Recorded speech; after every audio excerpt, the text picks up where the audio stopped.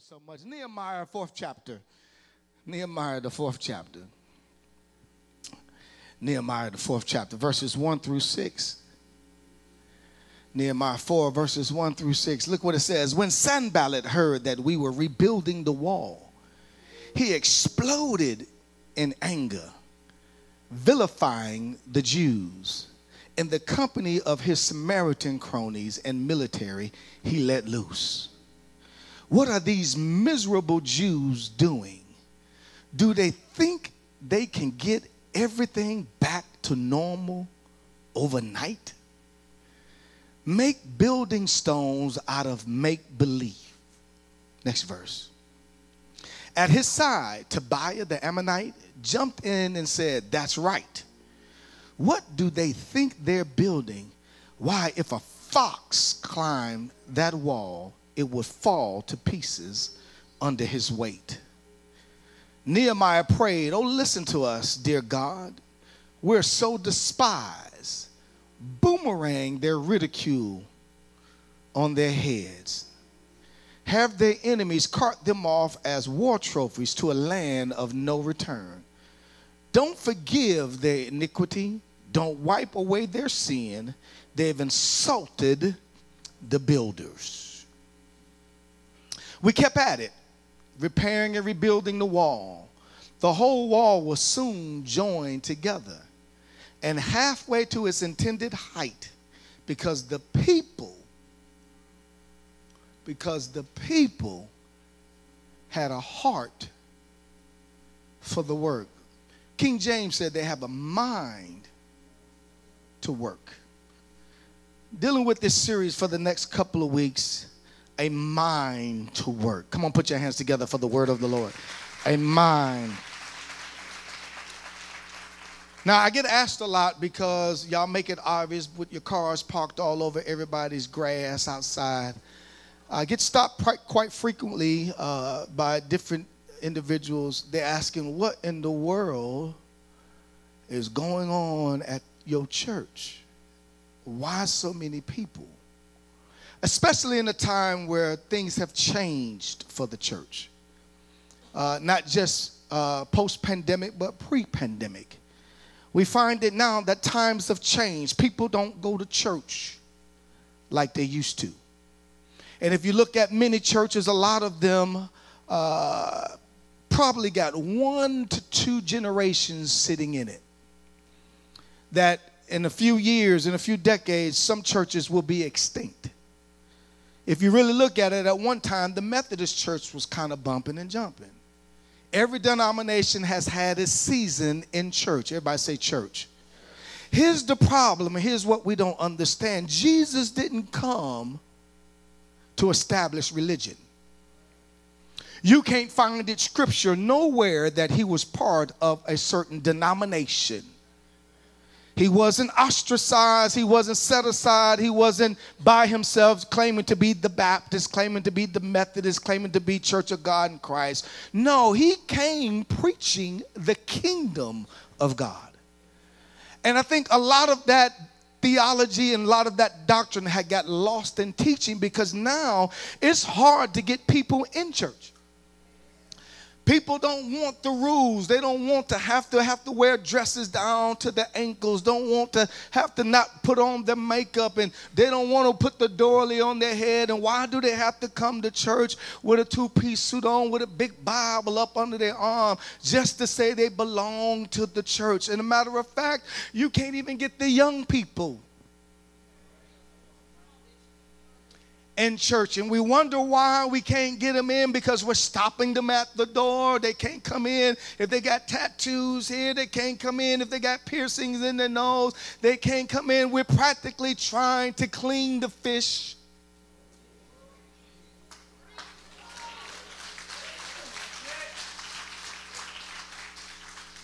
And if you were like me when I came up, I was on the drug program. No, I wasn't strung out on drugs. No, but I got drugged to church. It was a rule in grandmama's house that when we came down for the summer, no matter how far we, we went that Friday, that Saturday, no matter how long we hang out at, at that time, it was called the beer joint. Y'all ain't helping me. I'm going right here. No matter how long we hung out at Lee's Lounge in Marion, Friday, Saturday, Sunday morning. You better not even pretend like you were going to lay there. And didn't hear her. She didn't call it gospel back then. She said she was listening to her spirituals. Spirituals came on the radio. We weren't even allowed to run in the house while spirituals were on. And we had to get up and we had to get up and before we walked out and go to eat breakfast, we had to wash our face, make sure our, you better not got to came in the kitchen and didn't have your face. Come on, y'all and we were going to church. Listen to me, wasn't no children church. We were sat right there next. And on the way in, if she thought we were going to cut up, she broke her little branch. Come on, y'all, help me. And if we got too restless and too hungry, she went in a purse and got a peppermint that tastes like peppermint and perfume.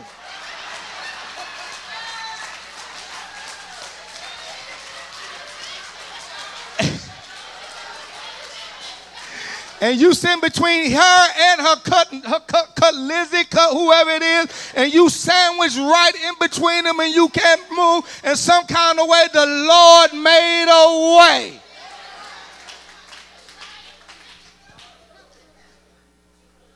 No children church, was no sign of no church in. You were right there. Didn't know what you was clapping for, but you were clapping. And then if you got into a good service and the mass choir was singing or the gospel, somebody went and passed out. And if you were old enough, you saw them take off a shoe and try. Oh, they got the smelling salts to try to wake them up. And if you hung around the summer long enough, you were there for the summer revival. Come on, anybody know the summer revival? Yeah, your clothes are already laid out for the summer revival. Back then, they had the mourning bench. Y'all quiet on me. I'm telling my age. The anybody know what I'm talking about? You had the mourning bench, and, and you if you got up and got on the mourning bench, listen, you were on there not until the Lord spoke, but until the old folks said you were ready to get up. And if you attempted to get up, they said you ain't ready to sit back down. And if you were on the mourning bench, you can play baseball. Come on, you can watch cartoons. Come on, because you're supposed to be setting yourself aside, waiting on the Lord to speak to him. By the time the end of the revival ended, then you can get up. And you better not been caught playing around because you say, I know you're sitting there playing with the Lord. Look at you playing with God. You ain't ready. All of those things God winked at and allowed us to do it. But listen to me, it has to be something more than that. There has to be a relationship. There has to be a work that God has assigned you to do while you're here on the earth realm to establish for Him. Your life is no mistake. I don't care how you think you got here. I don't care what you think your parents didn't do or what daddy and them didn't do or how they didn't stay together. You have an assignment on your life, just like Nehemiah, and he took his assignment seriously. We cannot walk this world, walk this earth aimlessly and not put our hands to work. The numbers are startling. Over one third of America has never attended church. No. They're getting into other things that are giving them peace and tranquility. Over 50% of our churches, I told you, may have one or two generations before it's extinct, and they're trying to figure out how do we get more young people back in church because our kids are traveling and rubbing their heads through collegiate hallways. They're moving abroad and never returning because the church failed to change. Listen to me hairstyle change, cars change, clothes change. Even you have changed, and the church stayed in one spot. You go to some now, they're still doing two songs in one prayer. Help me out and they'll still get up there and look around as if they don't know who's going to do the prayer. when they're already disgusted in the back. The kids have more technology on their phone than we do in some of our churches. And the church is supposed to be nucleus of the community. In the 60s, the civil rights was a movement because people came to the church to get the information, took it back out to the communities and voted to uh, to vote, went to school, got their education. And now the church is the last one to transform because the people can't see the work. And watch this. Let's not forget our kids that do go to college. Half of them, when they leave to go to college, over 30% of them never go back to church. Some kind of way along their college journey, they've been introduced to something else. Some type of philosophy, some type of other doctrine that moved them away from the body of Christ. And here's my concern because we all have kids. I have kids that are in college. My concern is that once they leave my house, have I deposited enough in them that if they move to New York, there's a church, there's a body of believers that remind them of home, that can continue the education and continue the relationship that we've established with them and their Lord and Savior. And my trouble is, is that I don't think that we have too many that remind me of what we've already started. That if we're not careful, we're going to run our young people away from church instead of them running to God. Can I get an amen right there? Because watch this. Here it is. You can't scare them to go to church now. you can't even scare them to do right now. It was a time you scared you you tell a child, "But look, all right, sit down. I'm gonna pop you on your tail now. They will sit down. Now these kids now, you can threaten them with whoopings.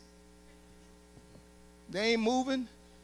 They used to be able to scare us with hell. You remember that? Y'all don't act right, you going to hell.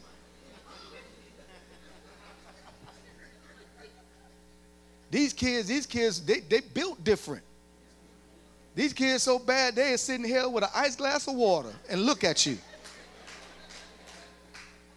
You can't scare them. It has to be something that ignites their, their, their, their, their interest to keep them involved in the body of Christ. Listen to me. They don't care nothing about steeples and pews. They don't care nothing about crusaders and sunbeams. And somebody know what I'm talking about.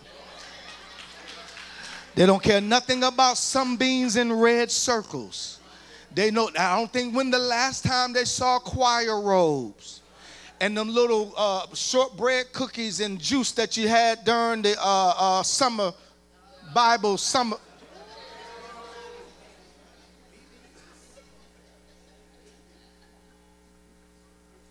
They want to know, they want to know how they can be used to stomp out poverty. They want to know how do they eradicate social justice. They want to know how do we deal with racism and police brutality. How do we deal with ostracizing ourselves from other ethnicities when we all should be children of God? They're going to classes, they're sharing dorm rooms with people that don't look like them. And they want to know how do they love even, even with their differences? How do they come together and actually relay the love of God that we sing about and we preach about? They want to know the cure for cancer. They want to know how do we get into community revitalization? What's going on with mental health? How do we eradicate the student debt? How do we get rid of welfare? Why should we have welfare? What do you mean everybody don't have the right and the access to proper health care? What's going on with wage inequality? Why in the world do we spend millions of dollars on stadiums and we got people living on the street?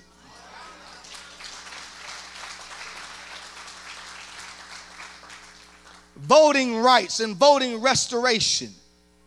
When do we put those type of works into the hands of our future leaders that we're educating and training them to take over, asking them to take the baton and move forward? It has to be more than religion, more than church. And if you really are taught your Bible correctly, you'll understand that Jesus came to come against religion mindset. It was a law that you couldn't have issue for a long period of time and be accountable, accountable into society, that you had to move outside the city. It was a law that if you had lepers and you couldn't be healed, you could not live inside the city limits. It was a law that if you got caught in some type of sin, ideally adultery, you had to be stoned to death. It was a law but he came against the law. Maybe this will help about five of y'all shout. I'm asking you, when are we going to establish a relationship between us and God that will stop hindering people from loving God no matter where they are in life, no matter what their mistakes are, no matter what they've done, no matter what sin they're wrestling with, they have a right to the access of God. They don't want church. I'm coming to my text. They want to be touched by something they can put their hands to, that they feel like they're making a difference. They want to belong to something. That when they look back at it, they say, Yeah, I remember when we delivered groceries to that house. Or I remember when we went to this school and we delivered school supplies. I remember that young girl that I mentored. Now she's the lawyer. Now she's the young girl that's scoring 30 on the ACT. Now she's getting accepted into middle school. I remember that young man. I didn't know he was playing basketball. Now he's being drafted. Now he's some judge. Now he's some lawyer. We ought to be able to be like Jesus and be able to put our hands on something. And when we put our hands on it, it don't remain the same. We ought to be able to walk in the room and just by the sound of our voice, we ought to be able to establish the relationship between the people in the community and the body of Christ. I'm not talking about a denomination. Yeah, we are a Christian church, but I won't be restricted by whether or not you believe in oneness or you believe in the Holy Trinity. I won't be restricted by whether or not you carry a Bible, you got to wear a dress down to your ankle. I won't be restricted whether you got two songs and two prayers. I just want you to enter into his gates with thanksgiving and into his courts with praise and give blessings up to his name. I don't care. So watch this Nehemiah. Everybody say Nehemiah. Nehemiah, this book, along with several other books, covers over a hundred years of post-exilic period where the people were in exile in Babylon, in prison in Babylon. And Babylon is a worldly type of system, any system that forces you to work for them and it doesn't benefit you is bondage. I'm going to say that one more time any system, just like being in Egypt when Moses and the children of Israel were Egypt and they were building the cities for Pharaoh. They were slaves to that type of economic system to where they only got what Pharaoh gave them. They didn't have a right to work for nothing else but the man building his kingdom. And Moses went to Pharaoh and said, You got to let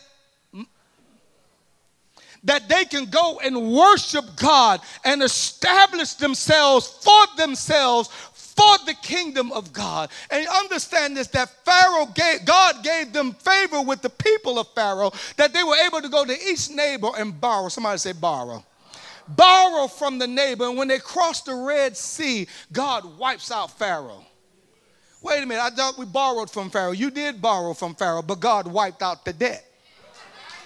Y'all didn't catch that right there. That if we're going to establish the kingdom of God, we're supposed to be living debt free. I understand you got bills and some things you got to pay on, but we shouldn't be in bondage that every day you wake up, you wake up to pay somebody else when you ought to be paying yourself.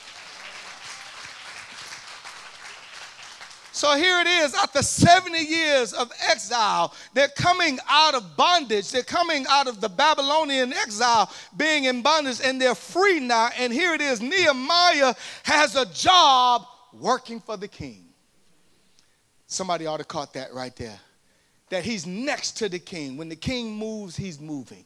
He was a cupbearer. His job was to make sure that the king's cup never was infiltrated by somebody trying to poison him. Nehemiah 1:11, put it up on the screen for me so I can hurry to my close. Look what he says here. He says, "Lord, let their ear be attentive to the prayer of this your servant and to the prayer of your servants who delight in revering your name. Give your servant success today by granting him somebody shout favor.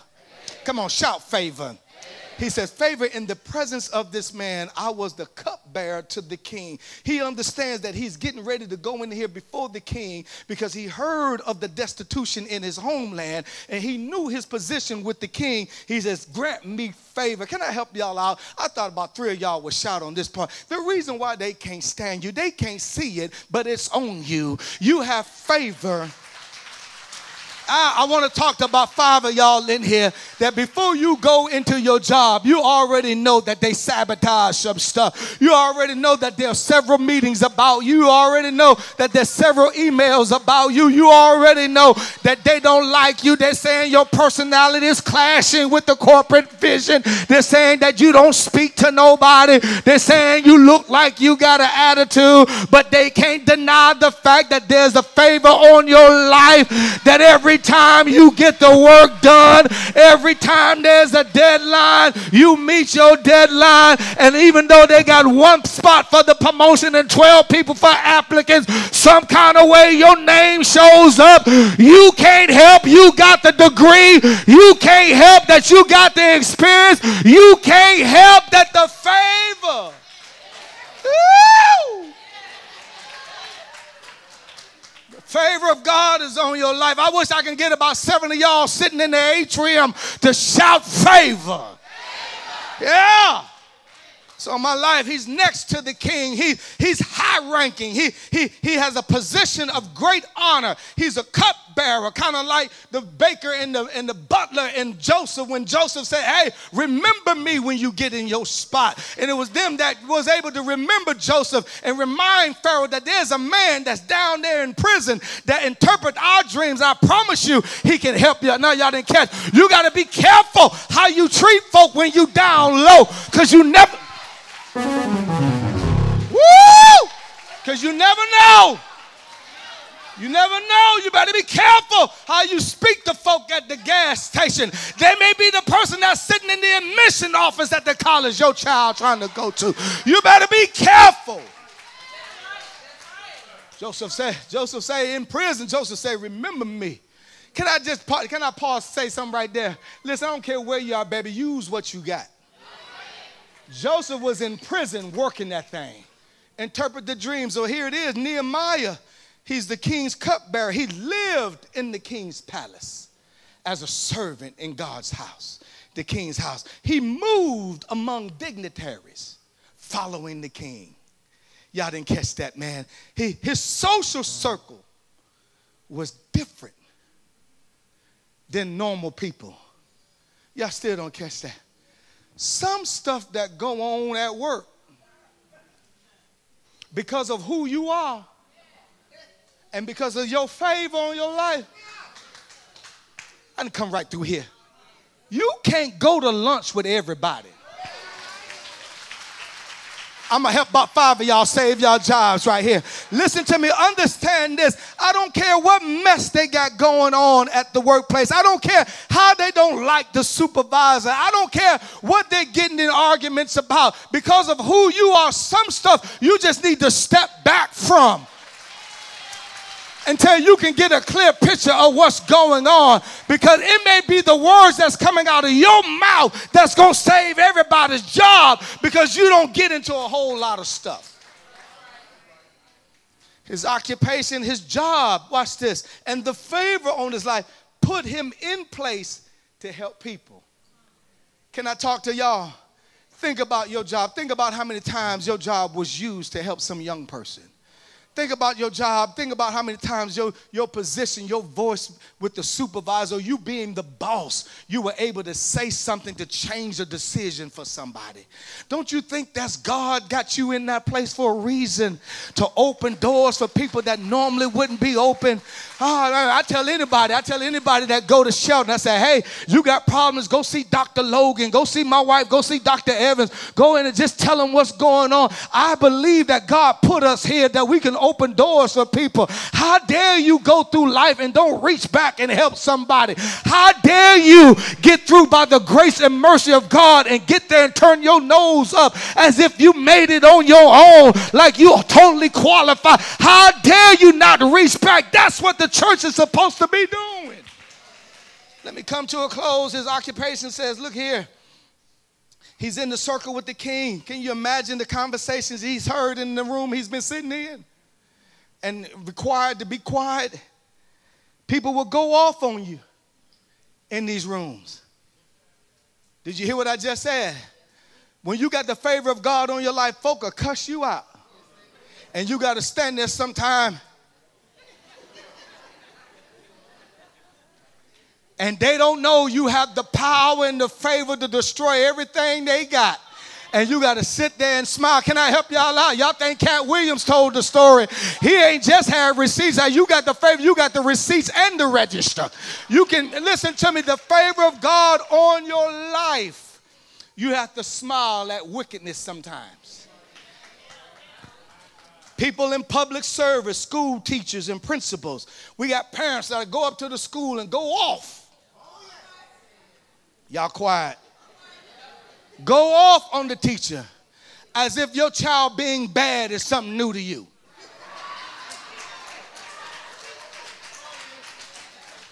Your child was bad before they left the house. You was arguing with them that they didn't take the trash out, went to bed with the dishes in the sink. Can I help y'all out? We couldn't go to bed with the dishes in the sink, and if you did, you got walking out with a lick.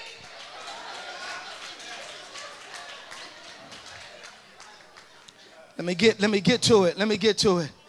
Your position, your position by your position. Nehemiah was positioned by God. One day while working in the palace, he overheard people discussing the ruins of the wall. Nehemiah 1 4. Put it up there for me. I got five minutes, I gotta close. Put Nehemiah 1 4. Look what it says. We don't have it.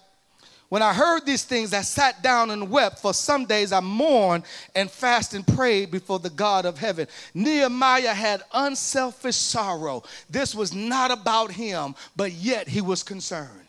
We cannot keep driving through our neighborhoods, keep watching our young people fail, keep watching families go down the drain, and drive through like we don't. We have no concern.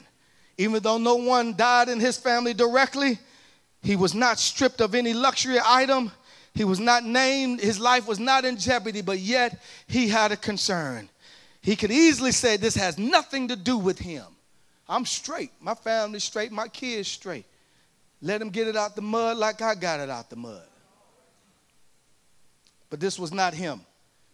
He asked the king for favor. Nehemiah 1 2 says that he pours the king's wine. The king noticed his countenance he noticed his countenance. He said, well, What's wrong with you? You sick? Look at somebody say, You sick? How is it that you're letting your problem change the fact that you connected to the king? Did that help somebody right there? How is it that you're going to let life make you think of the issues and the circumstances when you're standing in the king's face? It was against the law to get in front of the king and look sad. It was an insult to him as if he wasn't providing for you. From this day forward, don't you dare put a frown on your face because you don't have money in your account. Don't you dare walk around worried how God gonna pay the bill when God is trying to teach you to be disciplined with your money, don't you dare worry about the promotion and how he's going to open the door. The king notices his countenance and said, Why are you sad? Why are you poor mouth? Nehemiah 2 2 says, He says, Are you sick? What's wrong with you? I want to ask the proverbial question to you What's wrong with you? You're acting like he didn't bless you in 2023. So he says, Are you sick? Nehemiah 2, 4 through 7. Put it up here, and I'm coming to a close. Nehemiah 4 through 8 says, The king said to him, What is it? I thought somebody would clap. You mean to tell me the king is asking you, What do you want? What do you want? What do you, what do you, not what you need, Because the king providing your need, what do you want? Come on, he gives you your daily bread. What do you want? And listen to me, I came to tell you, you serve a big God, so the time for thinking small is over with. I need you to get your mind out the box. I need you to think outside the box. And God is asking you the question today what do you Ask your neighbor, what do you want? He says, What do you want? Then I prayed to God in heaven. Next verse, give me the next verse. And I answered the king. Look what it says. If it pleases, if it pleases the king, let me help you out. The one rule to success is don't be on your agenda, be on God's agenda. Come on, if you want to see if you want to see perpetual success in your life, make your make God's agenda your agenda. If you want to see success, make feeding the hungry, clothing the naked, and giving sight to the blind your agenda. Make sure that you're putting the groceries on the doorstep because you want to glorify God. Make sure you're helping people financially because you if you got to help them and brag about it, keep it in your pocket. I'm coming. He says, if it pleases the king, if your servant has found favor, the test of your favor is this. In the sight, let him send me. Somebody say, send me. Send me to the city in Judah where my ancestors are buried so I can rebuild it. If there's favor on my life, take me back to where you brought me out of and let me go back and make a difference in the life of those that I left behind. Now, you may be thinking the city, the physical city in which you grew up in, but can I talk to some folk? We left some folk in the club. Can I talk to some people? We left some people in the streets. Can I talk to some people? We left some some folk outside of salvation. And I came to tell you, you have an assignment this morning that when you leave out of here, I need you to go grab one cousin, one uncle, one auntie, one friend, and bring them into relationship with God. He says, he says, so I buried, go back to my ancestors' buried so that I can rebuild it. My question is, what are we going to reestablish? It's time for our communities to get back upright. Then the king said, when the queen sitting there, and I shared with them at 9 a.m., that queen most likely is Queen Esther. Because Queen Esther had favor with her king, and it was during the same time frame that Queen Esther was reigning, that this queen was sitting next to this king. And so here it is that he says the queen is sitting beside him. Listen, can't go wrong with Esther in the room.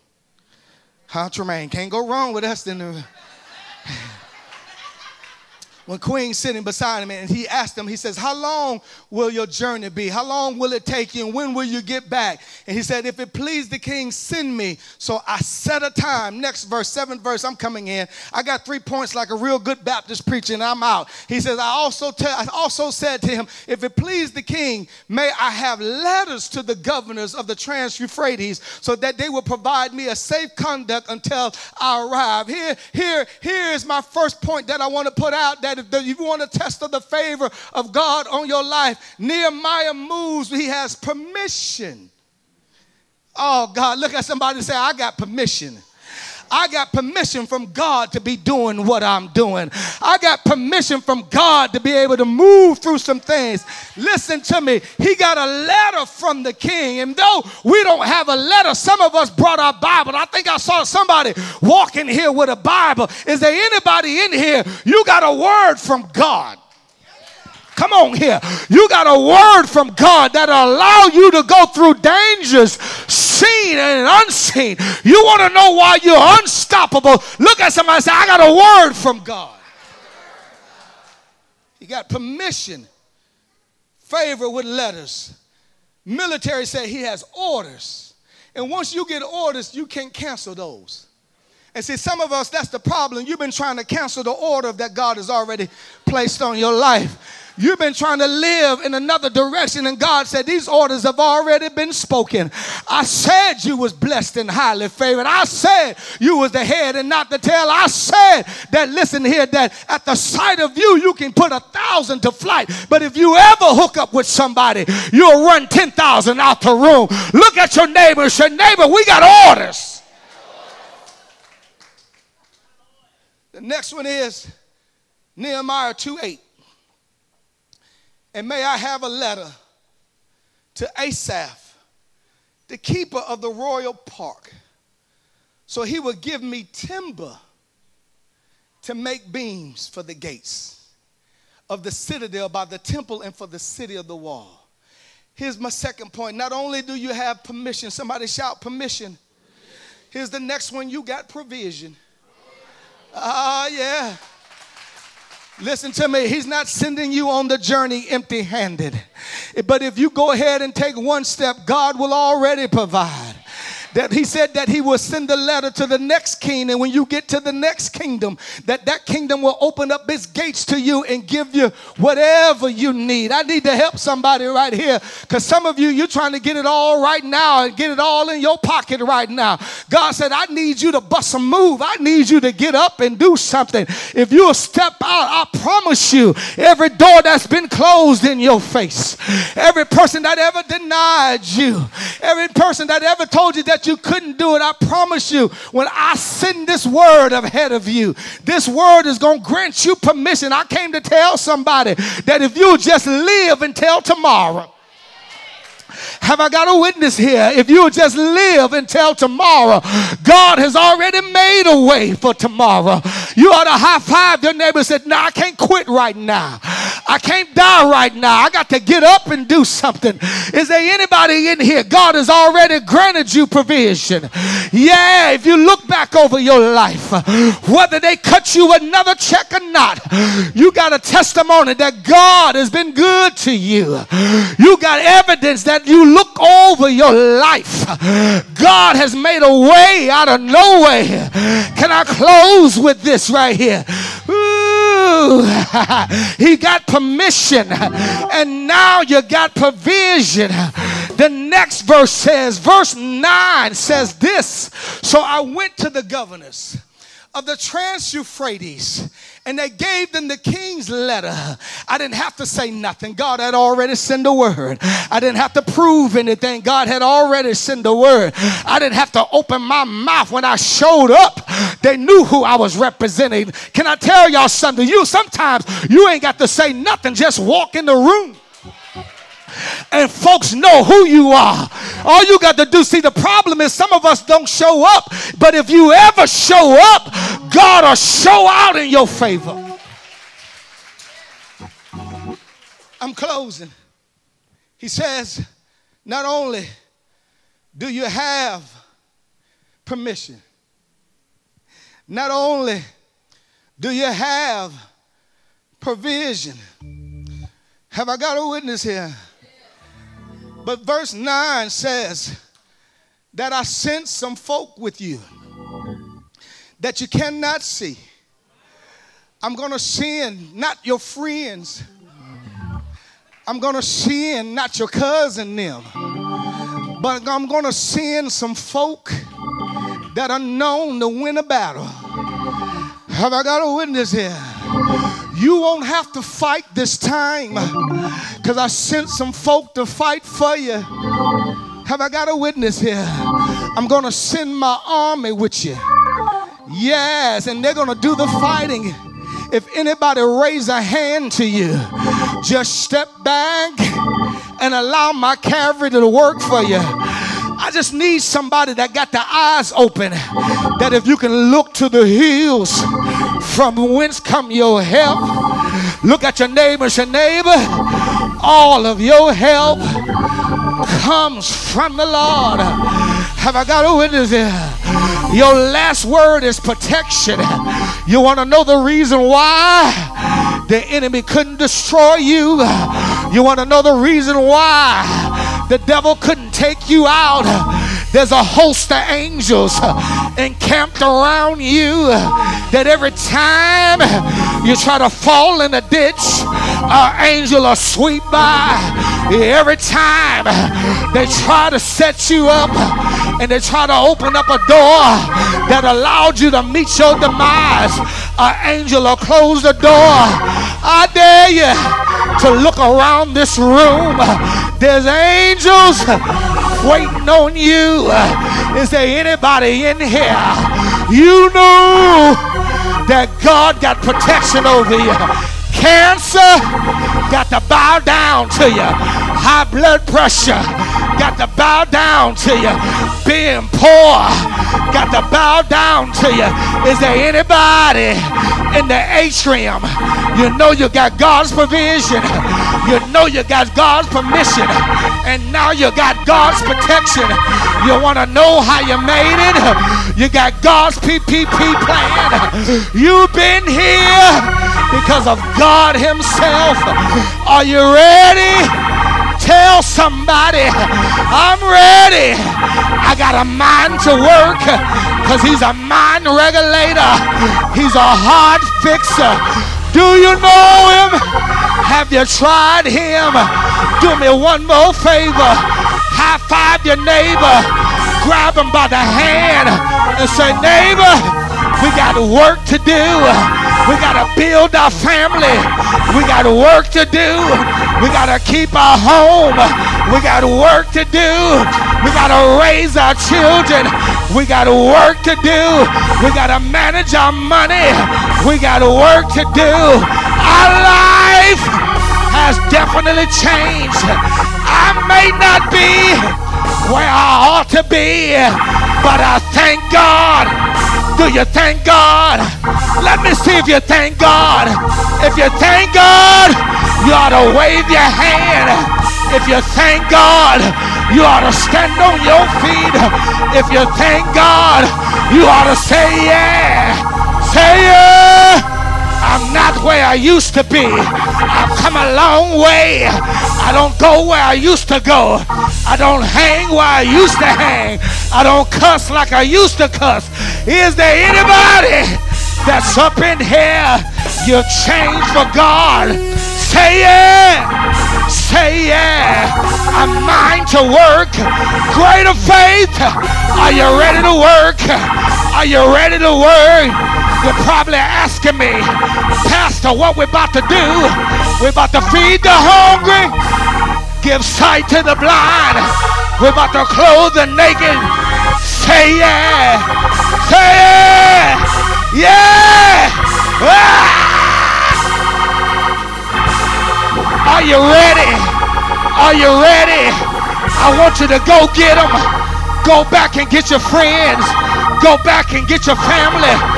Go back and get your auntie and them and say, we got work to do. West side. Somebody shout west side.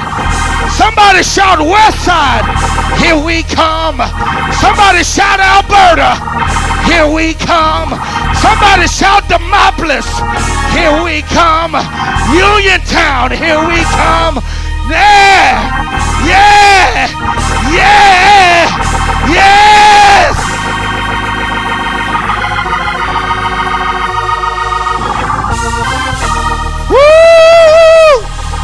Are you ready? Somebody shout, I'm ready. Somebody shout, I'm ready. I got to go get them. Go back and get them. Go back and get all of them. Go back and get them. Be a blessing.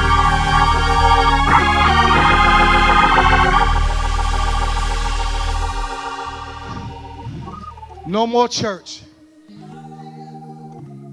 Singers. No more church. It's kingdom. While you rest on your feet, here's what I need to tell you church has members, the kingdom has citizens. You got to be able to move from being a sheep. Can I say it? You got to move from being a sheep to being a son or a daughter of the king. Let me explain to her. Church wants you to remain a sheep because you got to be led to eat, you got to be pampered, you got to be, the shepherd got to be there.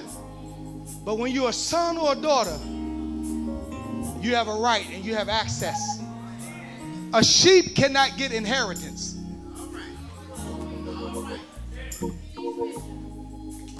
But a son and daughter can. Are you a son or a daughter of the Most High? And if you are, then nothing is withheld from you. This is what's not being taught. Because if you remain, the devil don't mind you coming and following the shepherd. But when you start taking residency and you start owning,